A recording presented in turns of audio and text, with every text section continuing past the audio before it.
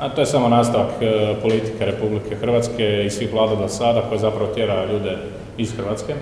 A onda kad ih potjera, naravno i tu imaju nekakve potraživanje prema njima. Hrvatska vlada treba shvatiti da, moramo, da mora biti, e, ja bih rekao, partner svim privatnicima kako bi uspjeli dignuti hrvatsko gospodarstvo na, gospodarstvo na neku veću razinu. Ovo što oni rade zapravo, ja bih najmanju e, ruku rekao maltretiranje hrvatskih građana koji više nisu u Hrvatskoj, a koji su pobjegli upravo zbog njihovih politika.